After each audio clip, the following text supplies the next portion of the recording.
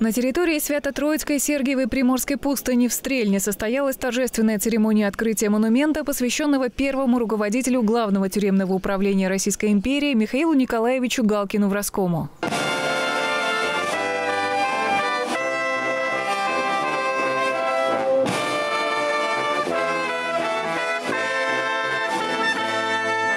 В мероприятии, проводимом в рамках 12-го Петербургского юридического форума, приняли участие директор ФСИН России, настоятель Свято-Троицкой Сергиевой Приморской пустыни, руководители федеральных органов законодательной и исполнительной власти Санкт-Петербурга и Ленинградской области, а также руководители пенитенциарных учреждений Содружества независимых государств, члены Общественного совета. Жизнь и профессиональный путь Галкина-Вроскова были тесно переплетены с историей нашей страны того периода – ее развитием, природный талант, настойчивый характер, решительность служили ему надежным подспорьем в достижении высоких результатов на благо России.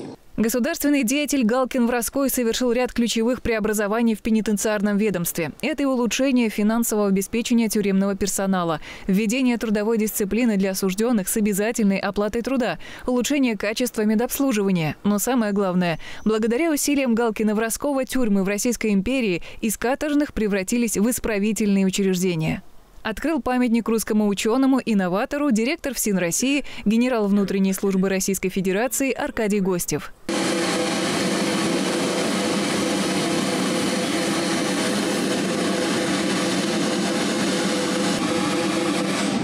Создание монумента на территории захоронения Галкина-Вроскова было реализовано усилиями Общественного совета при ГУФСИН России по Санкт-Петербургу и Ленинградской области. Участники отметили, что важно не забывать о людях, посвятивших свою жизнь на благо развития Отечества и помощи тем, кто однажды оступился. Роль церкви и общества в этом вопросе чрезвычайно важна такая личность, как Михаил Николаевич Галкин-Воровской, что всю свою жизнь он прожил не для себя фактически. Посвятил на служение своему Отечеству, делу, которому он служит. Чем будет больше у нас храмов, чем больше они будут э, восстанавливаться в плане просветительском, в плане работы с, э, с нашими прихожанами, тем меньше будет тюрем, тем меньше больниц будет. Да.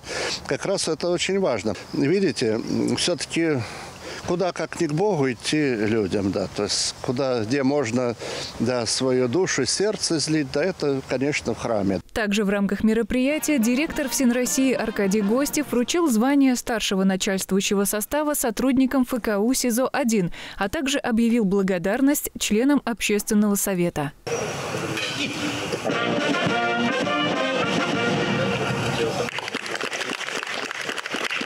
Ну, прежде всего, мы увековечили память тюремного начальника, э, который был здесь, работал здесь, да, на этой земле. И вот это отношение, которое он сформировал из каторги, превратив в систему исправления наказания, организовав постоянную работу священнослужителей, организовав тюремные больницы, организовав, в общем-то, достойное проживание в местах лишения свободы, это прежде всего реформатор.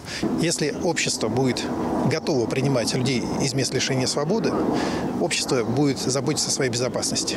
Потому что чем более открытым будет каждый человек к освободившемуся, тем больше есть шансов, что этот человек не совершит преступление, в том числе и против того человека, который протянет руку помощи. Это мероприятие – дань памяти человеку, много сделавшему для пенитенциарного ведомства. Данная инициатива была осуществлена в честь 145-летия уголовно-исполнительной системы Российской Федерации. Анна Федорова, Владимир Филичкин, Алексей Пономарев. Новости ТБН.